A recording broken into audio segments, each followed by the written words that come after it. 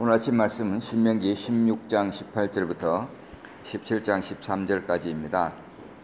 어, 공의로운 재판 또 상급 재판 절차 이렇게 재판에 관한 이야기가 나오고 또 우상 숭배자에 대한 재판 절차를 말하고 있습니다. 아, 공의를 이 땅에 실현하는 데 있어서 어, 하나님의 공의로운 재판이 이루어져야 될 것을 말하고 있습니다. 특별히 우리가 8절부터 어, 마지막 절까지 상급 재판 절차를 말씀을 하고 있는데요. 판결하기 어려운 일이 생기거든 너는 일어나 8절 말씀입니다. 내 하나님 여호와께서 택하실 곳으로 올라가서 레위 사람 제사장과 당시 재판장에게 나아가서 물어라. 어, 이 재판을 하는 데 있어서 재판장뿐만 아니라 제사장이 거기에 상급 재판 어, 기관에 최고 의결 기구에 포함이 되어 있다라는 사실입니다. 어, 이 제사장은 어, 어떻게 해서 최고 법원의 그 구성원이 될 이유가 무엇인가? 어, 몇 가지 이유들이 있습니다. 어, 첫째로는 하나님의 신정 정치에서 하나님을 배변하는 어, 사람이 바로 어, 제사장이었습니다.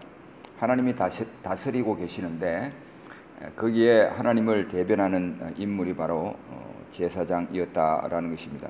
두 번째로 국가적으로 보면 어, 가장 현자 계급에 속하는 것이 예, 당시 제사장 계급이었습니다. 그리고 어, 세 번째로는 하나님의 율법을 해석하고 가르치는 특별한 임무를 가진 사람들이 바로 제사장이었습니다. 그래서 많은 경우에 그런 것이 반복이 되어 있는데 레위기 10장 11절이나 신명기 33장 10절 또 에스겔서 44장 24절 이런 데 보면 하나님의 율법을 가르치라 그 명령을 누구에게 주었냐면 제사장에게 주었습니다. 그래서 말라기 2장 7절에는 제사장을 가리켜서 망군의 여호와의 사자다 이렇게 표현을 하였습니다. 사자라는 말은 메신저라는 얘기입니다. 하나님이 주신 메시지가 있어서 아, 그것을 백성들에게 가르쳐야 할 임무를 가진 계급이 바로 제사장이었다라는 것입니다. 그 제사장의 역할은 어, 하나님의 율법을 정의를 실현하는 최고의 기준으로 어, 확정하고 아, 이스라엘 백성들이 지켜 나가도록 해야 되는 그런 역할을 감당하였습니다. 아, 그리고 양심의 불을 밝혀주는 역할을 하였습니다. 하나님의 법이 있음에도 불구하고 그런 법을 어겨나가는 어, 그런 성향이 우리들에게 있습니다. 그것을 양심을 일깨워주는 어, 역할을 하는 것이 바로 제사장이었고 그리고 재판관들에게 하나님 앞에서 직무를 수행함에 있어서 공정하게 심판하도록 상기시켜주는 어, 그런 역할을 제사장이 감당을 하였습니다. 그래서 이 제사장의 직무는 율법을 만들어내는 것이 아니라 기존의 하나님의 율법을 해석하고 어, 바르게 적용할 수 있도록 이스라엘 백성들에게 가르치는 역할을 하였습니다. 어, 그래서 변경할 수 없는 그런 정의의 원칙을 어, 보여주는 이 율법이 바로 인간의 법률의 기초가 돼야 된다. 그 율법 하나님이 변경할 수 없는 정의의 원칙으로 세워주신 이 율법이야말로 우리 모든 율법의 기초가 되어야 될 것을 아, 이 사실을 통해서 하나님은 우리들에게 분명하게 말씀하고 계십니다. 또 이렇게 될 때에 그 법률의 권위가 서게 되어 있습니다. 아, 지금 미국에서 예를 들면 동성연애자 법을 채택하였는데 그 법은 하나님이 준 권위가 아닙니다. 아, 그런 법은 권위를 내세울 수가 없는 어, 법이다라는 사실입니다. 그래서 제사장의 이런 역할들 때문에 그 제사장이 바로 최고 어, 상급 재판 어, 기관에 포함이 돼서 어, 사람들에게 판결을 내리도록 그렇게 하나님은 조치를 하셨습니다. 우리가 여기서 주목해 보아야 될 것이 한 가지가 있습니다. 우상 숭배자에 대한 재판 절차를 얘기할 때에 그 마지막에 결론을 내렸습니다. 7절 말씀인데요. 이런 자를 죽이기 위하여는 정인이 먼저 그에게 손을 댄 후에 뭇 백성이 손을 댈지라 너는 이와 같이 하여 너희 중에서 악을 제할지니라 라고 말씀하였습니다. 아, 이 동일한 결과가 아, 이 12절 말씀에도 기록이 되어 있는데요.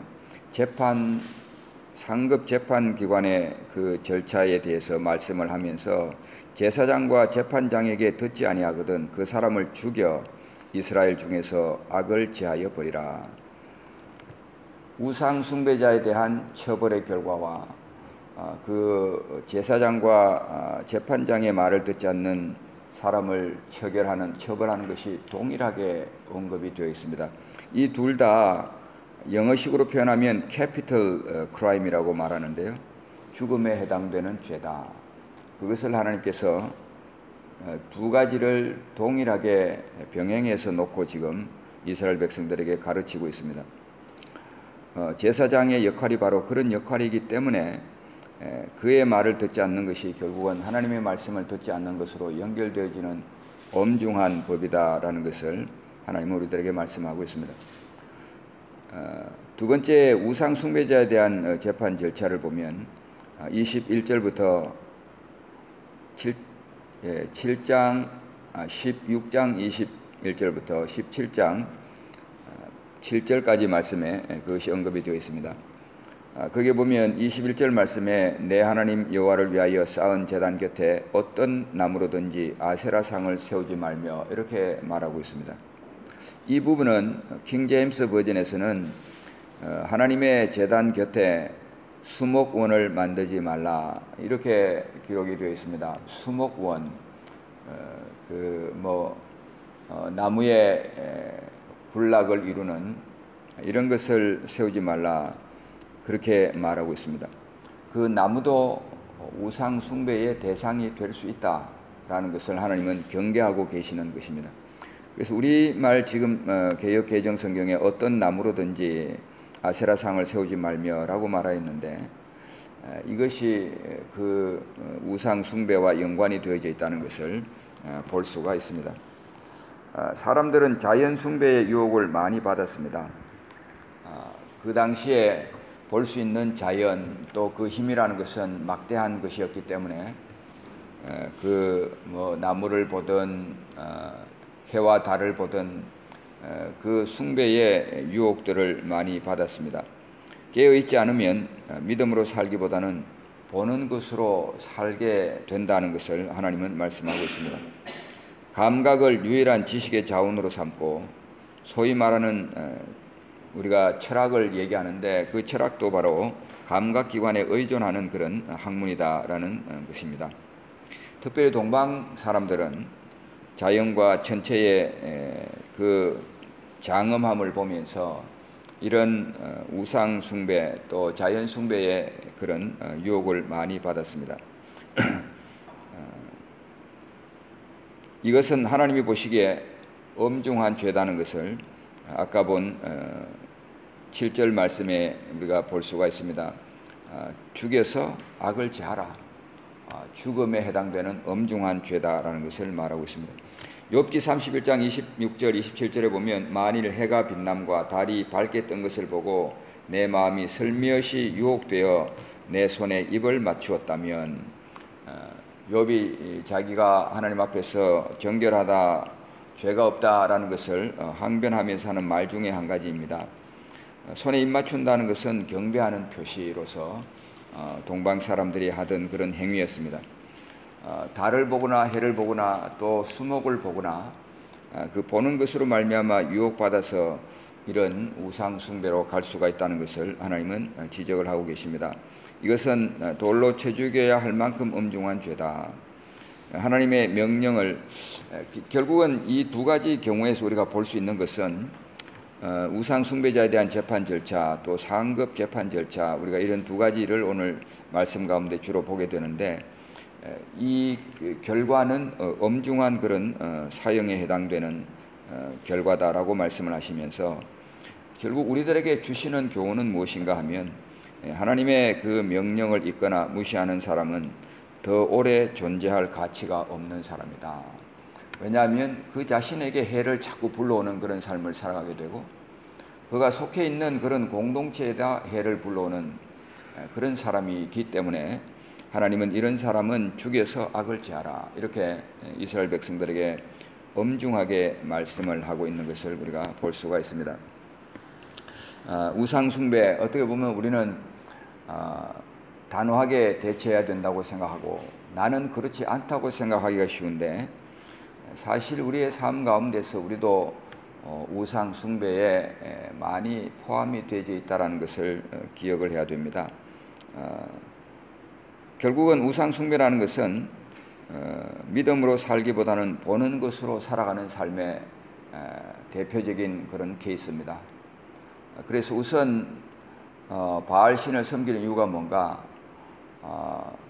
농경 사회에서 풍성한 그런 수확을 약속하는 신 그리고 그 제의 의식 가운데는 어, 제의적인 그런 어, 성행위가 포함이 되어 있고 우리 눈에 보기에 에, 유혹을 받을 만한 그런 요소들이 있기 때문에 그런 유혹의 길로 걸어가게 된 것입니다.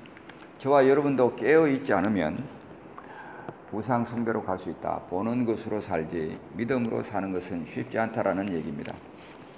아, 어제도 우리 예, 노이다 남성 그룹이 모였었는데 참 믿음으로 산다는 것은 쉽지 않은 일입니다.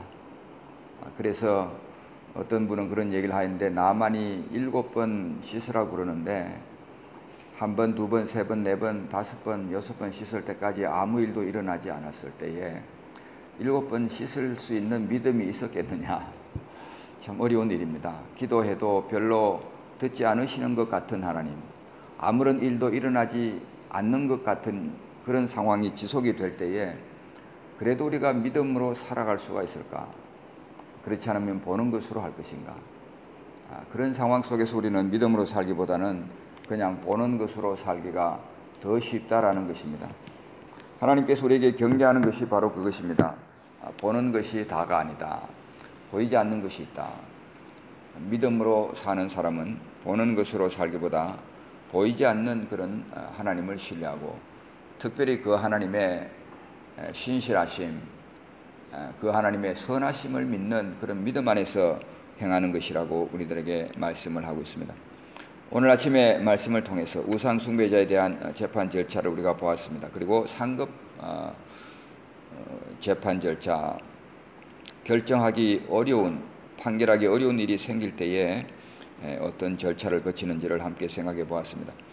아, 우리가 하나님의 명령대로 따르는 데에 행복이 있고 우리 하나님의 명령대로 살아가는 데에 하나님의 축복이 약속되어 있습니다. 그렇지 않는 삶이라는 것은 우리 하나님께서 보실 때에 그 말씀을 잊거나 무시하거나 하는 것은 오래 살아갈 가치가 없는 삶이다 하는 것을 이렇게 단호하게 하나님은 표현하셨습니다. 아, 저와 여러분의 삶이 하나님의 말씀대로 명령대로 살아가는 것을 통해서 생이 가치 있는 그런 생애가 되시기를 우리 주님의 이름으로 축복합니다.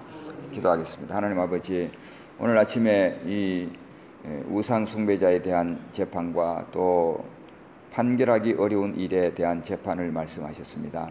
하나님 아버지 이 죄들은 사형에 해당되는 죄라고 주님은 말씀하십니다. 하나님 아버지 우리의 생애가 하나님 앞에서 가치 있는 생애가 되기를 소원합니다. 우리 하나님 보시기에 아름다운 생애, 풍성한 생애, 의미 있는 생애 살아갈 수 있기를 소원합니다. 하나님 주님의 말씀을 신중하게 생각하는 우리들 되게 하시고 그 말씀을 신중하게 받아들여서 우리 하나님이 기뻐하시는 생에 살아가는 우리들 되게 하여 주옵소서. 주님의 가르신 기도로 예배를 마칩니다. 하늘에 계신 우리 아버지여 이름이 거룩히 여김을 받으시오. 나라가 임하옵시며 뜻이 하늘에서 이루어진 것 같이 땅에서도 이루어진다. 오늘날 우리에게 일용할 양식을 주옵시고 우리가 우리에게 죄진 자를 사하것 같이 우리 죄를 사하여 주옵시고 우리를 시험에 들게 하지 마옵시고 다만 아래서 구하소서. 대개 나라와 권세와 영광이 아버지께 영원히 쌓옵나이다. 아멘